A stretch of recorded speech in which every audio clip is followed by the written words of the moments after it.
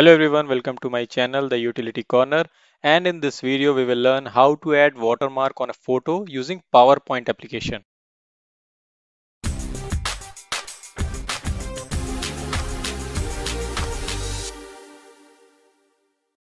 Here I have already opened a blank presentation in the PowerPoint and in this empty slide, I will add my photo in which I want to add the watermark.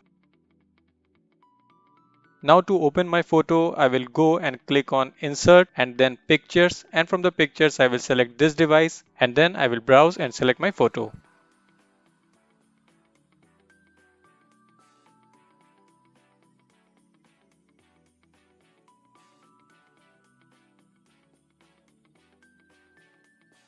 After importing my photo into the slide, I will again go into the insert section and from there this time I will select the text box option because we want to add text as watermark on our photo.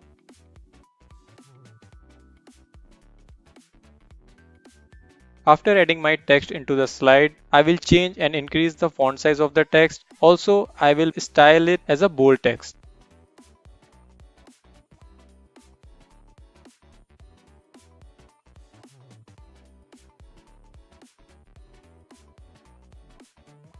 After styling my text, I will align it right over my photo.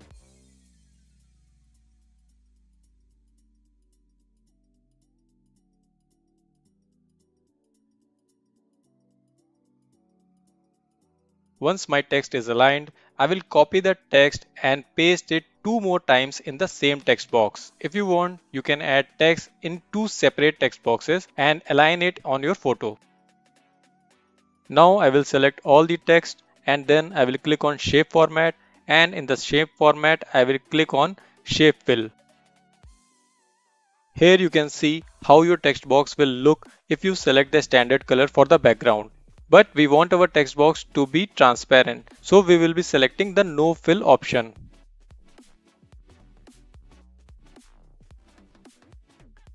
Same thing applies for the shape outline option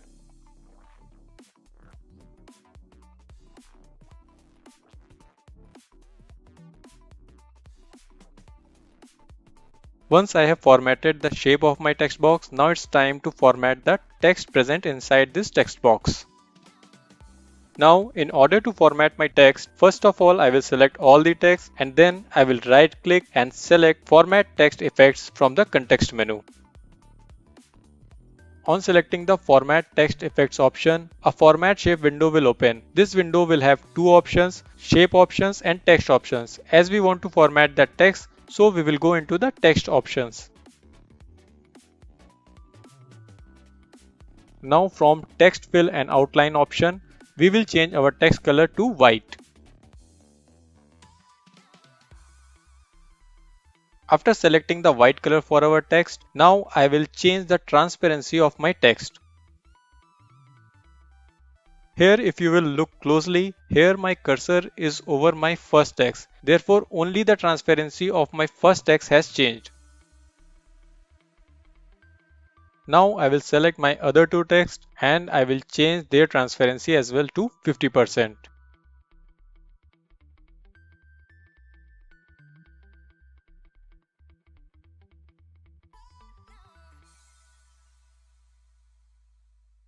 Now I will rotate my text box to the left and I will change the font size of my text so that it fits completely over my photo.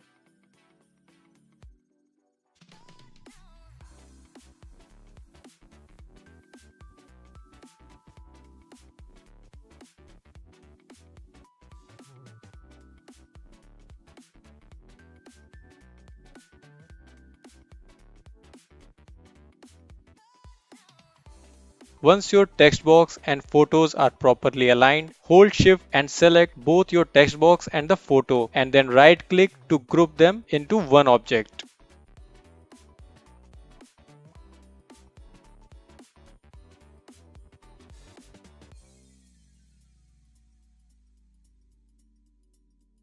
Here you can try to move your photo and your photo and text should move together. It means that you are able to group them successfully.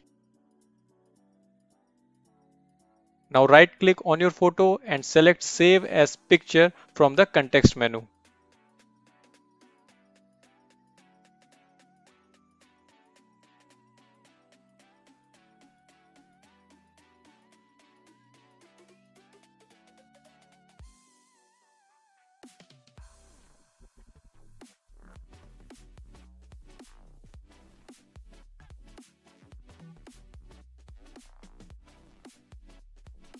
After saving our picture, let's open it into the photo app to view our final work.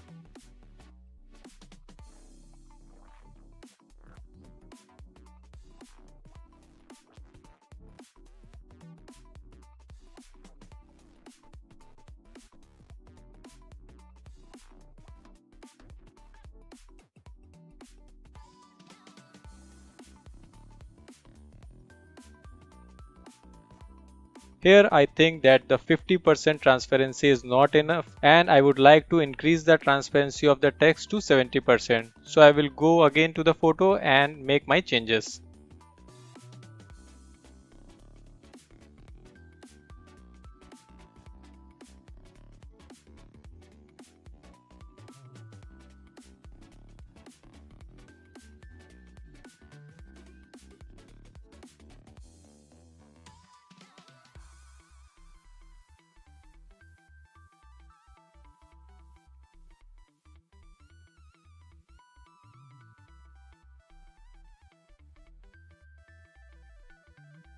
Now this is the level of transparency which I intended to have for my watermark on my photo. So now I will save this as my final work. If you find the content useful, please like the video and also subscribe to my channel for more such videos.